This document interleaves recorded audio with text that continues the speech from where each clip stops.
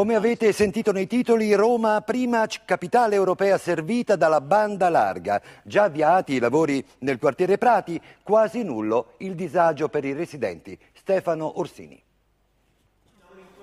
600 milioni di euro di investimento per trasformare la capitale in città digitale. È questo il progetto presentato dall'Unione Industriali Romani che prevede entro cinque anni l'arrivo capillare della banda larga in case, uffici ed imprese, potenziando così di cinque volte la possibilità di inviare dati. Significa avere un'autostrada a 16 corsie invece di una provinciale, il futuro è nella capacità di collegare il sistema dei cittadini e il sistema delle imprese con le istituzioni, con la pubblica amministrazione, avere un'autostrada su, su, cui far correre tanti veicoli di modernità. I lavori sono iniziati già in via sperimentare nel quartiere Prati.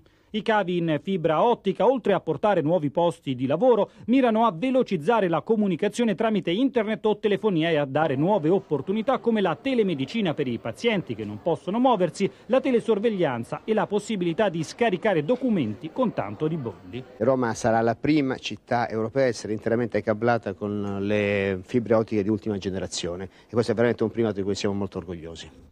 La novità maggiore sarà il bassissimo impatto degli scavi. Una delibera del Comune permette di velocizzare al massimo i tempi per far partire i lavori che prevedono la realizzazione di piccole tracce su marciapiede o in strada aperte e richiuse in pochissimo tempo, con la riduzione dei costi di un terzo e un minore impatto sul traffico. Sono lavori molto più veloci che spesso vengono effettuati sui marciapiedi e comportano uno scavo di pochissimi centimetri e c'è la possibilità anche di non scavare utilizzando appunto le trincee già esistenti magari di altri operatori eh, di telefonia mobile o altri operatori che, di cavi stradali.